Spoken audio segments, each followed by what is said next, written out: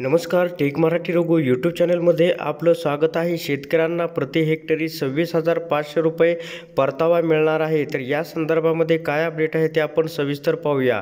पुनर्रचित हवामान आधारित फळपीक विमा योजनेतून सन दोन हजार बावीस तेवीस जिल्ह्यातील एकूण बावन्न महसूल मंडळातील केळी पीकधारकांना थंडीमुळे कमी तापमान झालेल्या केळीच्या नुकसान भरपाई परतावे मिळणार असल्याची माहिती मिळालेली आहे. संबंधित महसूल मंडळात किमान तापमान जानेवारीच्या सुरुवातीला आठ अंश सेल्सिअस व त्यापेक्षा कमी राहिल्याने केळीला फटका बसला.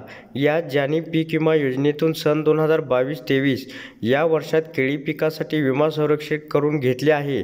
त्या केळी उत्पादकांना थंडीच्या नुकसानासंबंधी परतावे मिळतील. त्यात प्रति हेक्टरी सव्वीस हजार पाचशे रुपये एवढा परतावा निधी हा मिळणार आहे. तसेच हा निधी पात्र विमाधारक शेतकऱ्यांना विमा संरक्षण कालावधी पूर्ण होऊन एकवीस दिवसानंतर मिळू शकणार आहे. अर्थात केळीचा विमा संरक्षण कालावधी तीस जुलैपर्यंत आहे. यानुसार ऑगस्ट अखेरीस हा परतावा निधी शेतकऱ्यांना मिळेल अशी अपेक्षा आहे. आता हा जो निधी आहे जळगाव जिल्ह्यातील नुकसान भरपाईसाठी बावन्न महसूल मंडळ या ठिकाणी पात्र झालेले आहेत.